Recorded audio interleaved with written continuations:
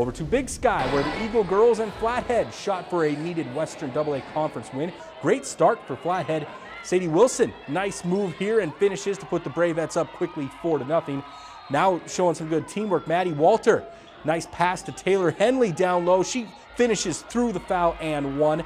Big Sky still searching for their first bucket down on the other end, but this will be a turnover taken the other way by Jenna Johnston, coast to coast for another layup.